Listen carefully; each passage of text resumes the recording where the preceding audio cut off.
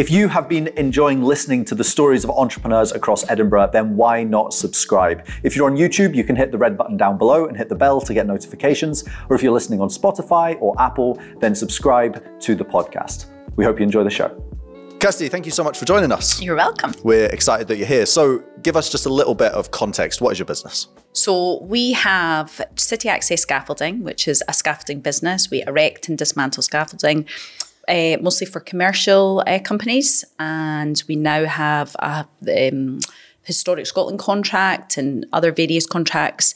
But yes, yeah, so we're a scaffolding company that started with me, Mark, and Johnny, and mm-hmm. now we are nine years later with 55 55 plus staff. Yeah. Amazing. You do some cool other, you know, like some other big big kind of famous buildings around Edinburgh? Just, yep. Have you got any? Well, Scotland, yes. Yeah. So a couple of years ago, we won, as I said, we were awarded the Historic Scotland uh, contract. Mm-hmm. And that means that we are on all of the historical environmental uh, Scotland contracts for. Um, you know all the buildings that you mm-hmm. see, like Holyrood Palace, Bute House, um, mm. you know all all over Scotland. Wow. So that's been that you know that was a real milestone. You must have been chuffed by that one. Yeah, yeah, yeah. yeah. We we actually went we bid for the contract far too soon when back I don't know maybe like you know six seven years ago and we were second in line for that but I'm glad at that at that point it wasn't the right time. Mm. But you know, to to win that contract and you know see our guys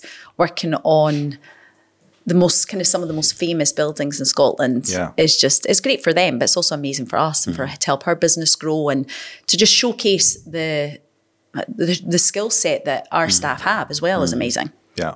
So how how did you end up here? I mean, scaffolding is a, an interesting industry for yep. especially women to end up in. Yes. So go back to the beginning. What was your story into business? Well, into business, and we've just we spoke about this before. Um, I was part of Entrepreneurial Spark with a previous business, an online children's boutique. Um, that was back in 2012, 2013.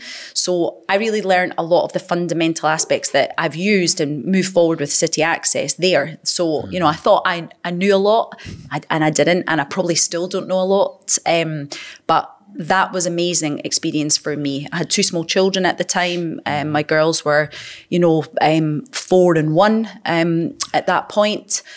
But it just was very, very overwhelming to be doing that mm. on my own with two small children, a husband that worked offshore. And I'd been encouraging Johnny a long time, for a long time. You know, I wanted him home back from offshore working on oil rigs. Mm-hmm. And he worked away with his friend Mark, who is our now business partner. Mm-hmm. Uh, so they you know, Mark, Johnny had, when he would come home for a while, it used to be two weeks away, two weeks home. And we got used to that lifestyle. It was amazing because the children were little, they weren't at school. So when he came home, he could be a dad. Mm. But as time went on and there was a bit more structure and routine, you know, there was two weeks where he didn't do very much. So mm. his friend had a scaffolding company and he would do days here and there if he was ever short staffed. So there was an opportunity yeah. where there was a guy that wanted to sell a little bit of material and he had a van and Johnny just took that opportunity and he was, you know, he, he, came home with the van and, you know, a few bits of scaffolding material in the back of the car. And I thought, right, this is it. Mm. So at that point, it was just Johnny and I. And it was only Johnny and I for probably about three or four weeks.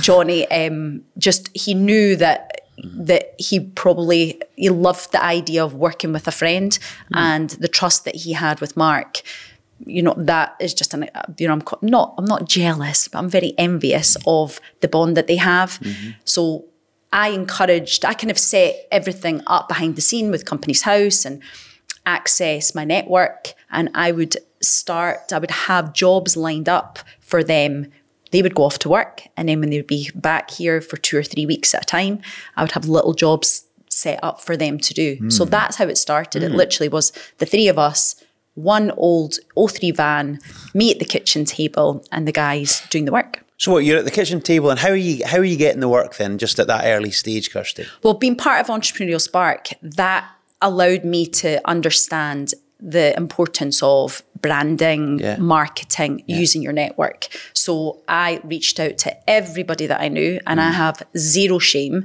And at the time. You know, I, I, look back and I cringe to death at some of the things that I would do, but I just didn't care. And I think there was a bit of this has to work now. Mm. So um, I would just contact anybody that had a roofing company. I just started really small. So yeah. anybody that had a roofing company that maybe had an established business that I knew and I just I just sold them. I just sold their service and explained who we were and it just worked. And they did a few jobs initially um, that were, they'd done a great job. They'd worked on, you know, offshore. They worked on the Forth, um, the Forth uh, rail bridge. Um, the road bridge, I'll probably get that wrong. I'll be corrected later. um, so they worked in industrial. So the health and safety aspect was, mm-hmm. you know, top notch. And because they were good at what they were doing, it was easy for me to sell the service because mm-hmm. people wanted them back. Mm. So, you know, I just, to, so the answer to your question is I use my network, as simple as mm. that. And what, literally picking up the phone? Picking up the phone. I've been coffee shops, yeah. see someone with a roofing branded jumper and go over and introduce myself and, you know, give them a card. I'd follow up with an email. I just had, I had no shame at all. Great. Mm. Wow. So by the time that Johnny was back from being offshore, you said, "Right now, get back, get, get to work." Yes. This is meant to be his, his recovery time and rest. Oh no, but- he he was like ready to go because at that point, you know, it's for you. So yeah.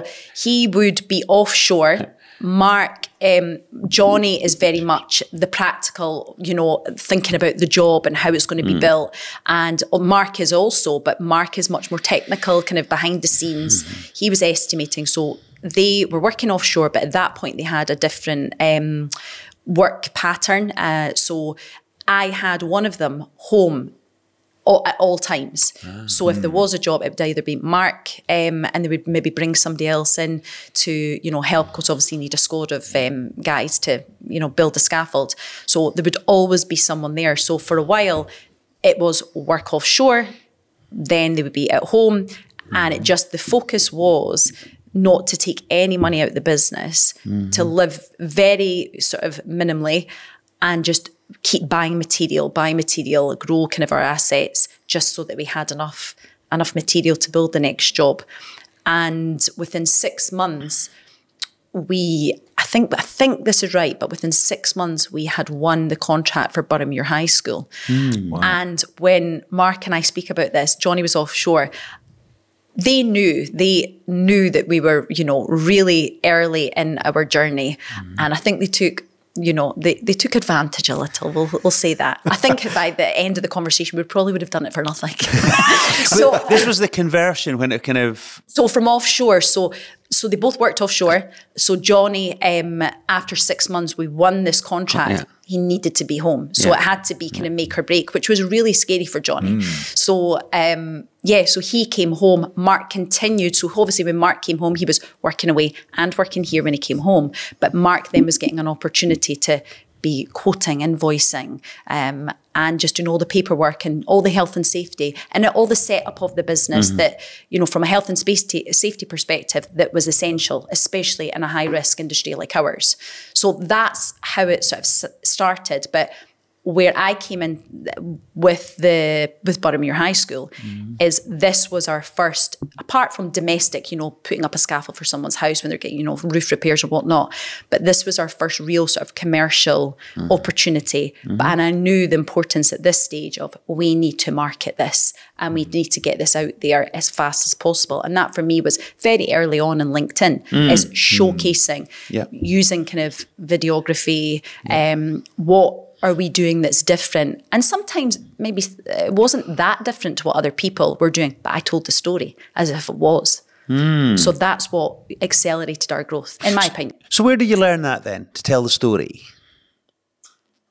That I think that that's just naturally, and I think that this is, and I know that this conversation will come up as I'm a female in a very male-dominated industry, mm-hmm. but this is going back to this is why you have females in male-dominated industries because it's important for there to be not only diversity, but also for a different perspective as, as I see what's great about other people and i'm not selling myself i'm selling someone else. So and i knew the importance of that is you know my family were in business um, my grandmother and, and my papa they had a guest house and she did little techniques you know that were in keeping with her era she would go for coffee she'd leave a business card. And you know she was doing that in the uh-huh. in the late 80s mm-hmm. so my grandma taught me a lot, but I think it just came naturally. I think I just wanted to help the business grow and probably appear bigger and more professional than maybe what we were at the beginning. Mm-hmm. But what that done is it created structure mm-hmm. and it held us to it held us accountable because I will never ever say anything on LinkedIn that's that's not true. Mm-hmm. So I knew that they were adhering to health and safety. I knew that they were being really professional and just trying to be different and just forward thinking. So it just came natural. Mm-hmm. And do you find it easier then to almost sell someone else as opposed to yourself, for example? Hundred percent. Yeah. Yeah. Oh, definitely. Yeah. So. Obviously, being asked to do this, I, you know, I, it's good. Those are great opportunities, and it gets uh, it's an opportunity to tell the tell you know people what the business is all about. But then when I start to think, the, the imposter syndrome comes in, Yeah. and then I get a bit of the fear, and it's a bit like kind of like cringy. But then I go, really, who cares? Nobody really cares that much about me. They just we're all looking out for ourselves, Yeah. aren't we? Just helping the business grow. And is that, you know, it's interesting you mentioned impo- imposter syndrome. Is that how you get over it? Just by almost switching the brain to saying, who cares? Just get on with it? Or what are your techniques? Um, maybe not for me, but I think when it's the business, and I think hmm. when we put, I don't have it when I'm, I don't definitely don't have it when I'm telling a story or I'm writing content for someone else at City Access. Mm-hmm. Never, hmm. or about the work. Mm-hmm. And then I think there comes a little bit confidence when I maybe think of something a little bit different mm-hmm. and I put it out there and it gets good feedback. And then I mm-hmm. maybe get the praise, or, you mm-hmm. know, I get the pat on the back that I'm maybe looking for. Um, but yeah, I've got, I've had a lot of ideas for a long time that I've wanted to do, but there have been little, you know, hurdles for me. Life is, you know, comes with its own natural hurdles, but I sometimes stop myself. Yeah, there's that. I think there's that struggle on LinkedIn where it feels like you can when you put up about how difficult it is, and you know it always does better, and it frustrates me because I feel like sometimes you can go on LinkedIn and it's just full of people like trying to talk about how hard their life is, and but that's the stuff that does well. And it annoys me because I'm like, well, I can, we can all talk about how difficult our lives are and post about that, and it all be about us, and and it gets the traction. But then you put up something that you actually think is actually quite good or helpful or whatever, and it doesn't get the traction. It's frustrating. Like, Yeah, I think authenticity, and I think Yeah. that for for me is thinking about what is the what is the reason that I'm going to share something on, you mm-hmm. know, on and even own social media, um, is just that if you're coming from a place of integrity and mm-hmm. authenticity, mm-hmm. then that's okay. If there is an ulterior motive and if you're trying to get traction from a personal perspective, I think that that's that's Yeah. not in alignment with who I am. And you mm. know, I've spoke about being sober. I'm mm. 19 years sober, mm. and I've shared that at times. And I think probably, and this is where I do. I'm being completely genuine when I say this. Is I do share things with our staff, you know, on a personal level, and I share things that you know maybe where we've done staff meetings about you know struggling with mental health. And mm. that does come from a personal space mm-hmm. and being sober because i'm in an industry where mm-hmm. alcohol abuse and drug mm-hmm. abuse and that lifestyle and living in chaos is sometimes a normal is a normal life for people. And i want I want people to find a little bit of, con, you know, that feeling of being content within themselves. But with regards to LinkedIn, I think that if you're coming from a place that is, you're being genuine, that you're not trying to profit off, you know, your own, your own or your your members of staff's kind of hmm. difficult moments, then you know, post what you feel comfortable about, but not hmm. just you know, it, it, it needs to be in alignment with the Yeah. business and with the hmm. people. Have have some heart with it as well. Um, Does that answer the question? I, Yeah. kind It of, I does. go off on tangents. It, it does, and, and- you, you mentioned about you know th- that's why you have females in a male-dominated kind of industry as well to almost to tell the story and draw out a different angle. Well, that's things. I think that's probably the benefit Mm. that Mark and Johnny and probably City Access see in my contribution to Yeah. the business. Is obviously I do a lot more than post on social media, um, but I think it's that being able to see things from a different angle. Obviously, Mark and, and Johnny are very much in the business, the day to day, and I am all about the business growth. That is hmm. absolutely fundamental to everything that I, you know, it's wh- what are we doing next? Where are we going? And how are we doing that? And what members of staff do we need? And and trying to bring people from in the business and bring them up with us. Yeah. Yeah. And you mentioned earlier as well, in Kirsty, about hurdles. I mean, what are some of the hurdles that that you've overcome in your career, or or, or you know, even kind of the, the businesses has, has kind of gone through and overcome? Um, obviously, you know, if you speak to anyone that's just been through COVID and went through all of that, obviously COVID was new to everyone. We did not know what to expect and we didn't know if we'd have a business at the end of mm. it. So um, we were really fortunate to be one of the businesses in the industries that were out to work pretty soon, two, three months afterwards. And obviously that was, you know, using flexible furlough and it was just a new time for everyone, but that was really scary, especially when the business was thriving at that mm-hmm. point. So that was a really scary time. But what mm-hmm. I try to, for every difficult challenge that we have as, as you know, business owners between Mark, Johnny, and I, and now we've got a management team. Um, but is trying to kind of remember that every situation that is thrown at us, and it is a cliche, but how can we how can we use this and turn it into a positive situation? And what what have we learned? And i'm always kind of reflecting and evaluating. And and for me at that point i knew how tight we were as as at, at that point we didn't have um it was just really sort of Mark, Johnny, and I driving the business forward. We didn't have our management team then, but we were great at let, what can we do to make us stand out from everybody else. We would we would be on the phone, on Zoom with one another. We created um, great uh, sort of videos of how to work as scaffolders, you know, by socially distancing, which is really challenging. We sent that to our clients we um, we were quite forward thinking, and that was that's not us thinking, but we were forward thinking. We thought that everyone would be doing this, but the how that was perceived by clients was, oh, this is a little bit different. So that was great. So personal hurdles, and I think that you know, it's it's always a challenge. As a, ev- you never know what's going on with someone personally from an employee's uh, point of view. We've got uh, in the office, obviously, all of our, all, most of our um, team are all out on the job. So when they're out in the job, it's difficult to know what's going on in their life. But everybody's got a story, especially now. The last few years have been really tough for people.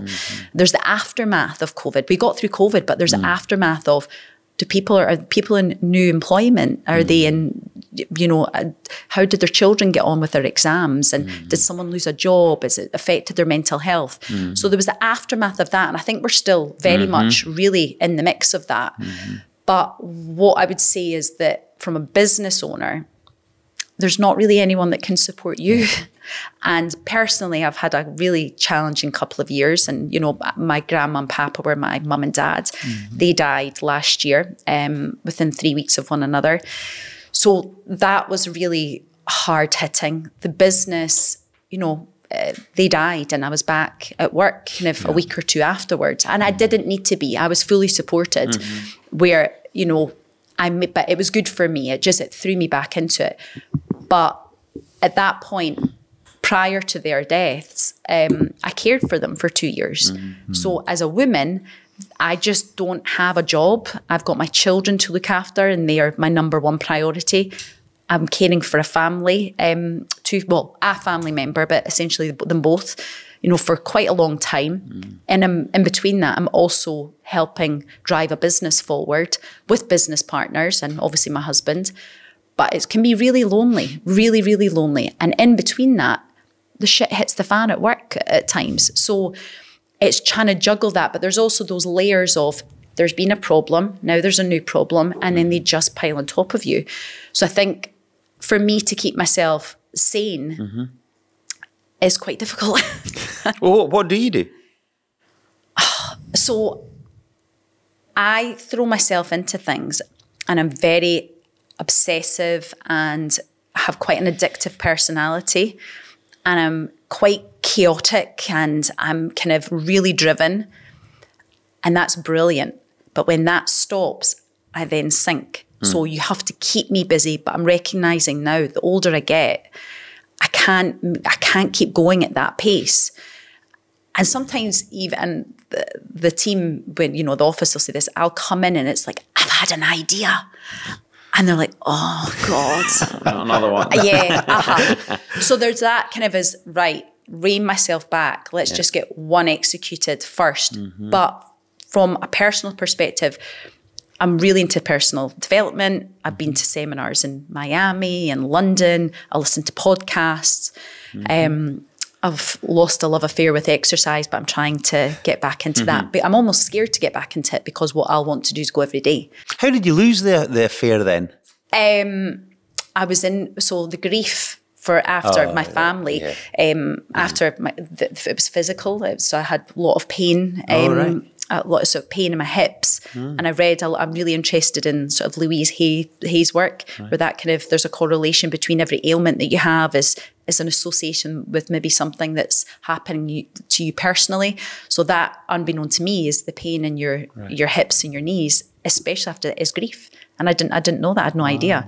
So, um, I think I just I got out the flow right. and then it just became a bit kind of like, oh, I, I don't want to look there. Yeah. I moved house.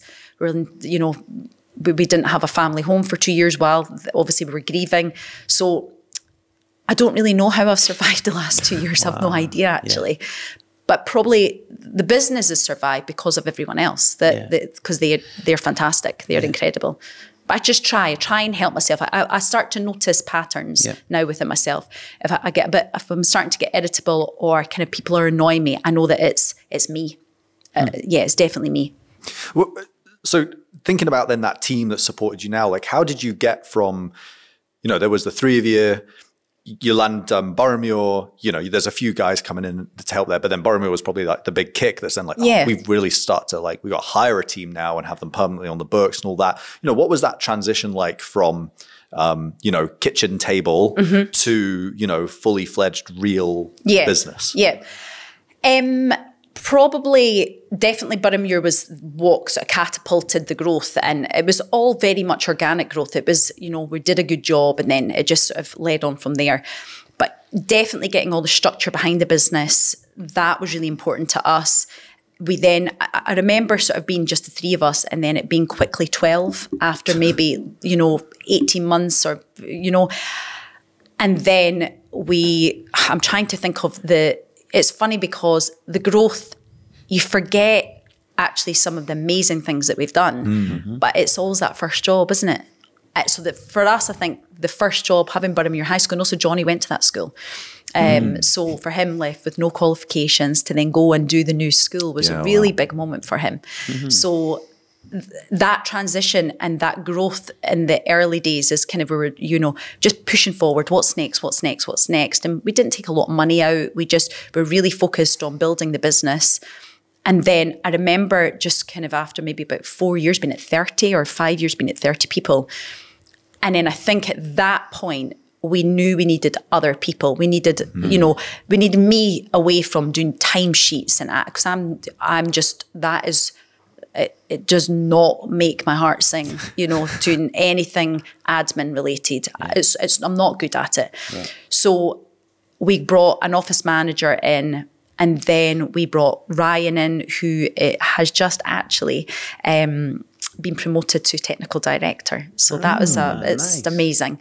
And I think having the office team then allowed us as business owners to kind of had some have some headspace and then to allow the business to grow and actually to also be ticking off all the essential things that you need for a business like ours to be operating with you know tier one contractors mm-hmm. so and we take that really seriously so you know we've got people working at height which can be dangerous and we need to make sure that they're safe at all mm-hmm. times so you know, that having having that team in the office really I think we landed lucky with some of the people that we've had as well. You know, they are we've got some amazing people in our management team now. And that's definitely helped us, having the right people to just help us drive it forward. And they seem to be on board with our values mm. and the culture and who we are as people and essentially who the business is and their alignment with that. So that's really helped accelerate it. And then again, when we were awarded the Historic Scotland contract two years ago, that was a new kind of growth. And then, you know, Gleneagles Townhouse and yeah, um, yeah there's been a few kind of mm-hmm. milestone moments, mm-hmm. but the momentum's there now and the hunger's still there. But what we're working on now is just, well, what I'm working on and trying to get the guys to work on is celebrating the wins. Because what we mm. tend to do is we do something or be working towards winning, uh, you know, some contract and we get it and it's like, right, five minutes off, that was good. Next. Mm. We need to start celebrating it now. Mm-hmm. It, it's quite a, a very heavy uh, asset based business, isn't it? Because you, you know, every new job, like I, I think I remember I was there once and you're like, or Johnny would have been like, oh, that, you know, that's, that's a hundred quid. And I'm like, flip me, there's thousands of these. Do you know what I mean? Like it's a very heavy asset business. That's so funny that you said that. That's Johnny. Yeah. So all Johnny does is that he just equates everything to money and. Mm. And if any, you'll wander around the yard, oh, God, look, that's ruined. Oh, that's ruined. That's, you know, that's 20 pounds. That's this. and it's, but, but actually, he gives himself a really hard time uh, about kind of seeing the negative or mm. housekeeping and things. But actually, that we need someone like that, mm. that kind of like make sure that we, we rein it in. But yeah, obviously at the beginning, we inv- just invested yeah. continuously on new new stock and new material. And we've got a lot of material now and that's still growing. It will it will continue to grow. But obviously if we if we need to hire material, we will, we will, but we like to invest in our own stock. And it's just so, like, I remember as well, just being like, oh yeah, that, you know, one dude's job is just to paint things.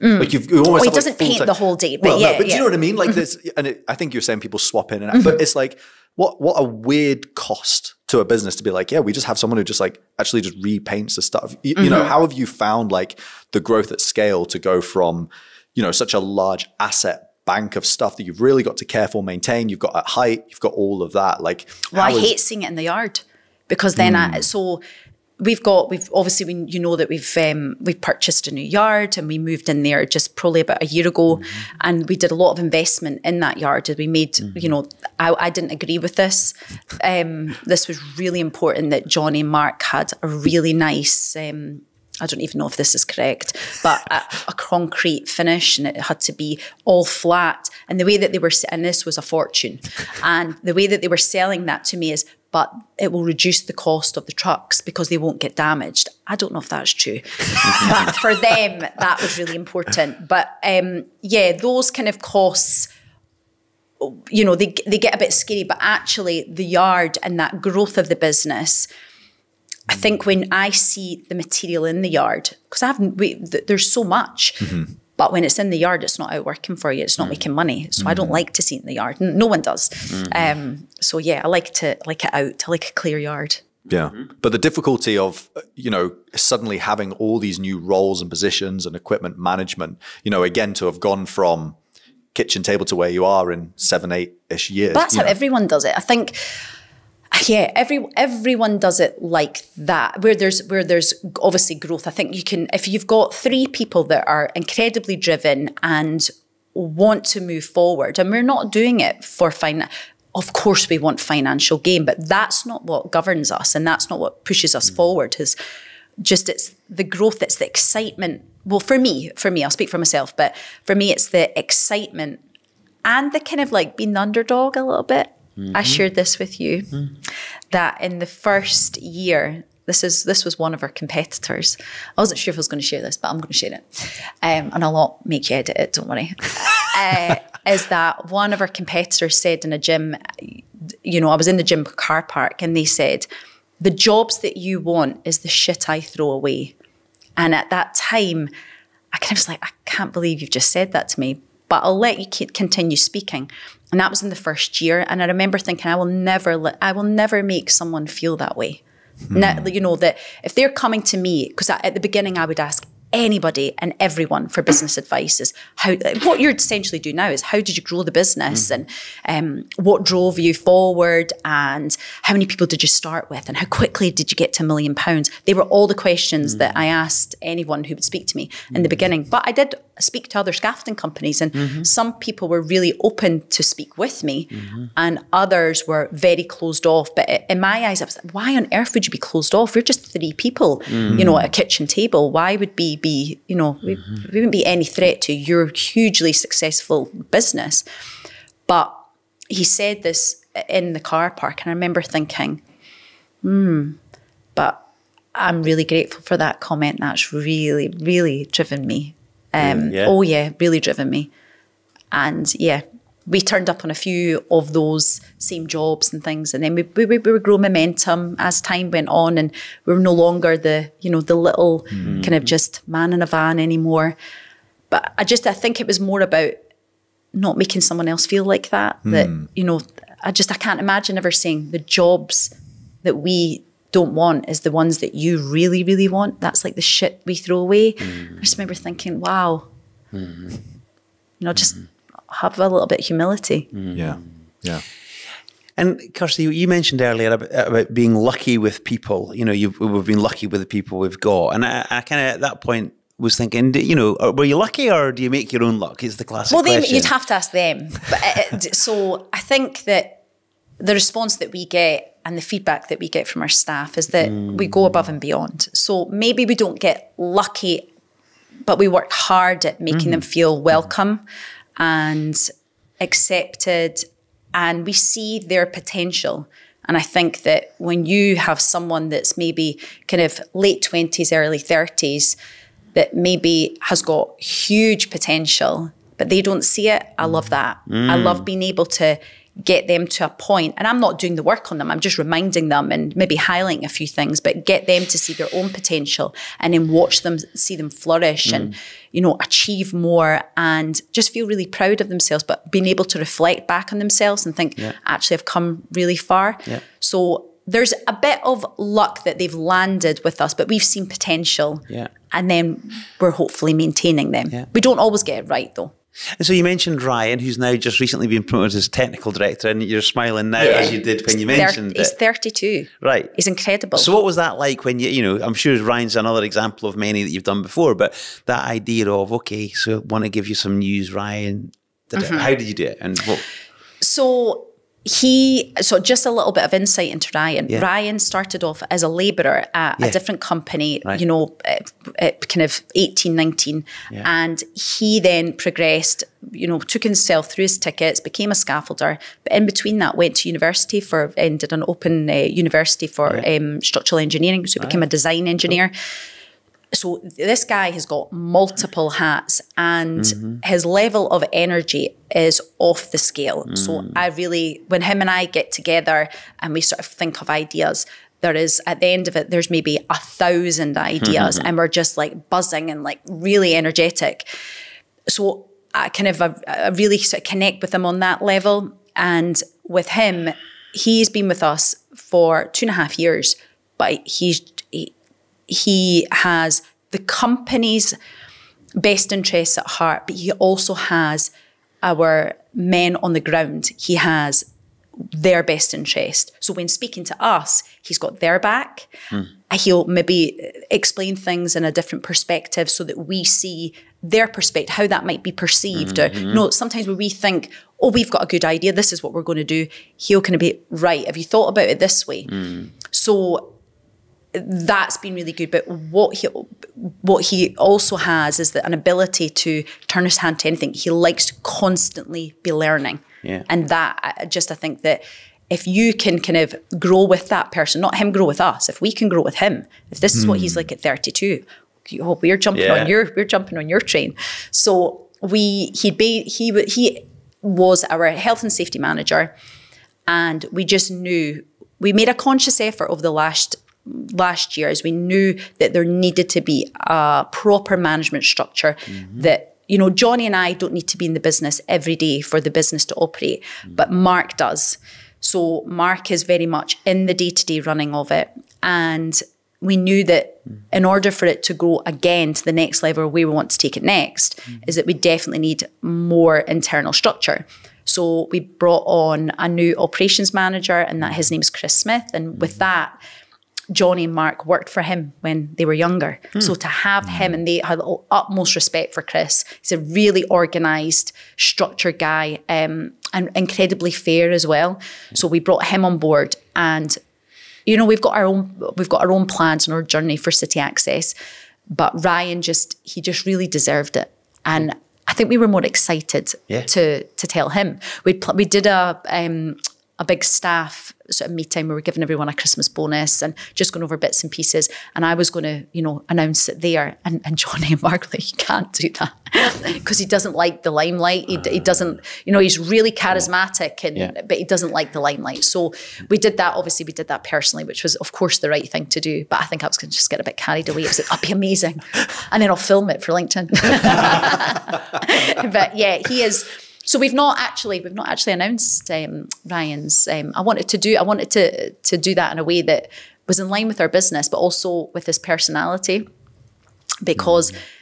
For being a, for where he was, for being a health and safety manager, Ryan climbs Munros, skydives, um, he does scuba diving, you know, he is into high risk sports, but was our health and safety manager. So I was thinking, right, let's get him. And he's got a motorbike.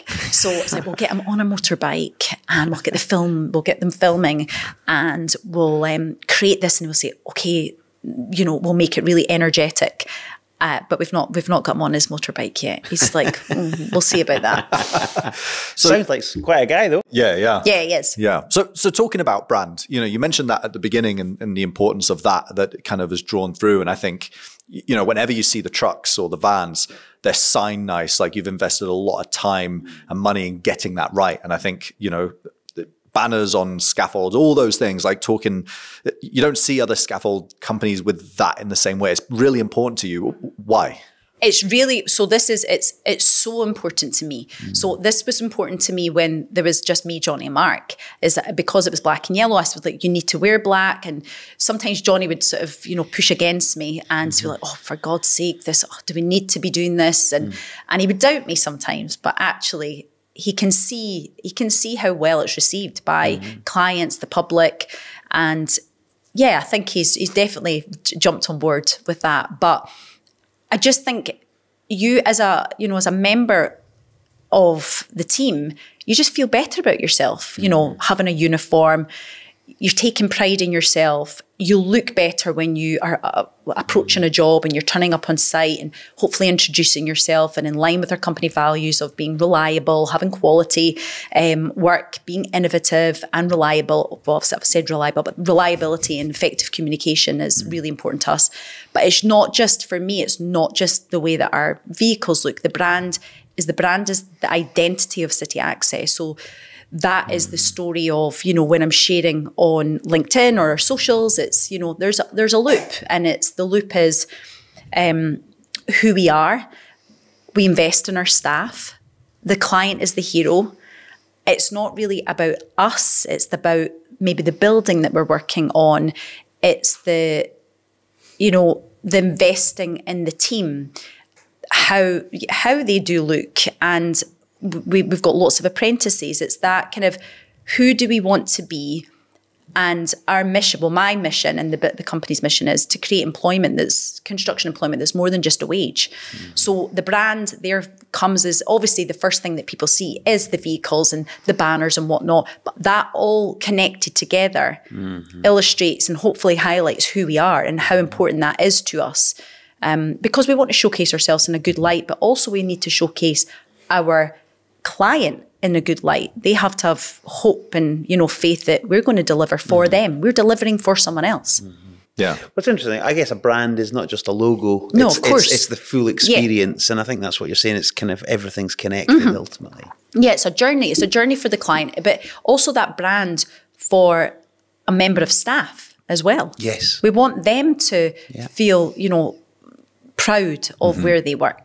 Yeah. Yeah. Yeah. It feels like it's in my head, it's just like a premium, like city access to me. I'm like, if I see it, I'm like, oh, they, they haven't scrimped on scaffold. Like that's like my impression, which is a weird. I don't know why. Like it's scaffolding. Do you know Well, what I we mean? don't, I do know. kind of, you know, I see uh, we don't do taxis. We don't do, Yeah. we, we don't really do any entertaining.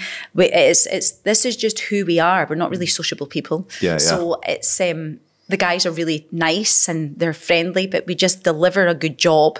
And hopefully that comes with repeat business.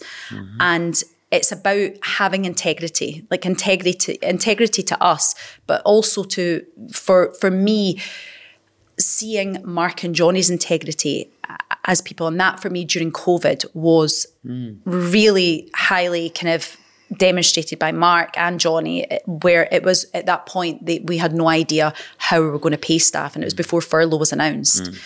And Mark, we had calculated, so I'm kind of like looking at holidays accruing and what does this mean? And oh my goodness is right okay how long could we survive with what's mm. in the bank if this goes for you know if this goes on for three you know six months little did we know it would go on for as long as it did.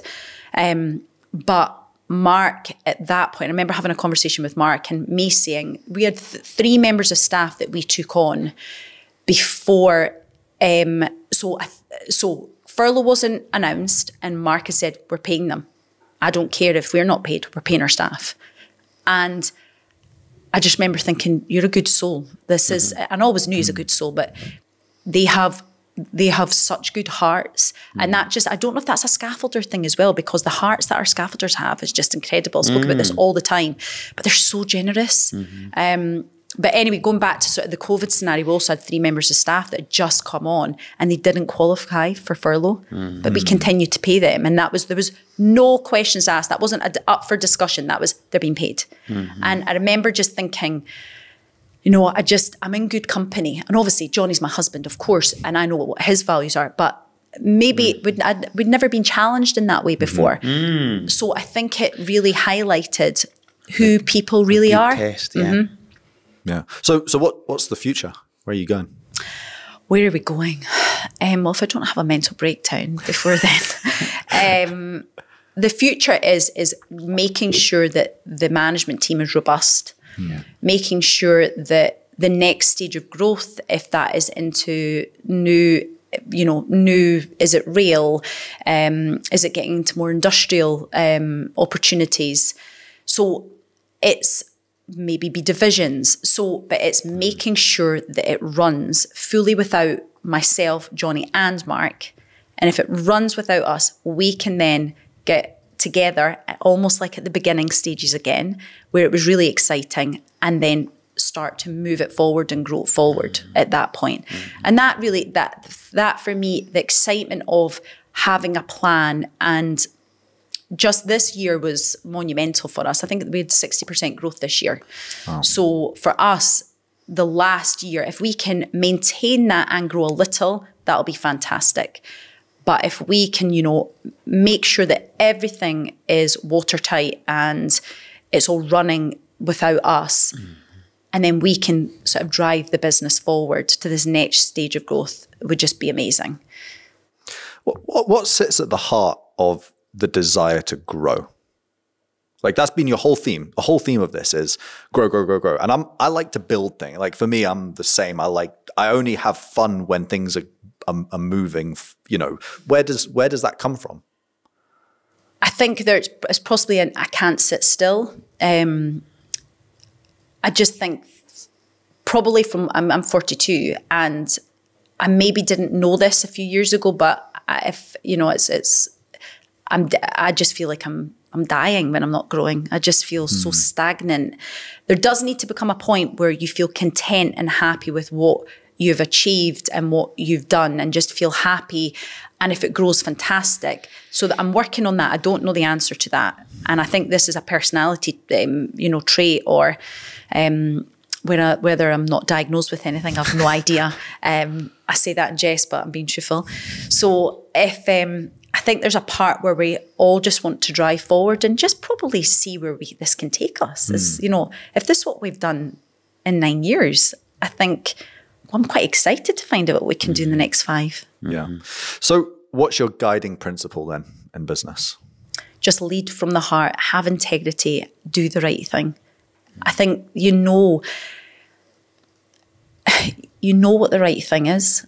And I think when you've got people around you that are in line with your values of being good people, I speak to I speak to people that have their their own businesses, and they'll maybe they'll, they'll say, you know, someone once said to me, you know, poach poach someone from another company and and have them there for you know just a few months. Just to, I'm like, I can never do that. You're playing with someone's life. Mm. So I think that lead with integrity, lead from the heart, do the right thing that's in line with who you are, the values of the business, and have and remember that this is just a place of work for everyone. Mm. This is not their life. Mm. They, you know, your staff don't, you know, hopefully they've bought into the culture and who you are as a business and they want to showcase that. But this is just one aspect of their life. Mm.